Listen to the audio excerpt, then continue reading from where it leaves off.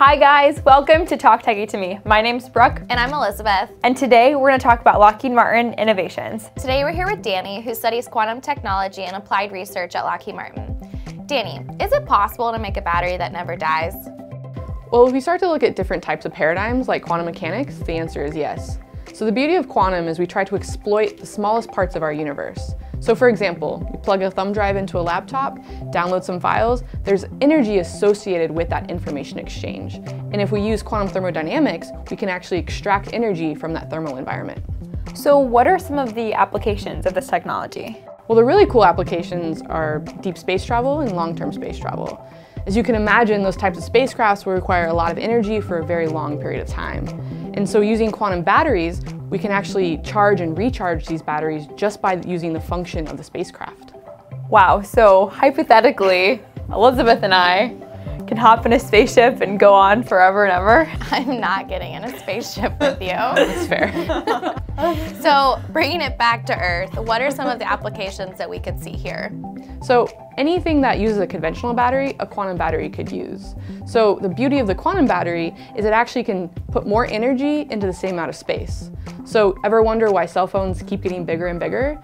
If you want to increase battery life, you have to put more batteries in the cell phone. My mind is blown. I literally thought it was because they wanted us to buy more cell phones.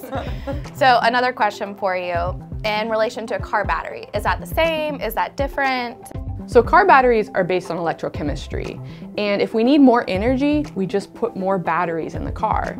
And if you can imagine using batteries for long periods of time, there's heat that builds up over time and that can actually lead to catastrophic failures and even explosion. So using a quantum technology or quantum battery, you don't have those types of risks because it's a whole different type of paradigm.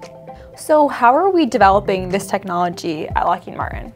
So think about the F-35 program. Nearly 40 years ago, there were technologists looking at innovations that were gonna make that fighter different than its predecessors. So we have to do the same type of thing when it comes to thinking about energy solutions 20 to 40 years from now. So we need to cultivate and innovate upon new types of paradigms like quantum technologies now in order to make those types of changes in the future. This is so interesting. How did you get into this field? So actually completely by chance. I'm a traditional engineer, come from a software and systems background, but I really wanted to start looking at the bigger problems, the bigger issues that we're gonna face in the future. And ultimately the footprint in which we all consume energy. We're in a climate crisis, we're in an energy crisis, and we need to all do our part. And quantum technologies is one really interesting way to do that, for now to space and beyond. Well, Dani, you have inspired me, you have wowed me, and it's been great to have you on the show. Thank you so much.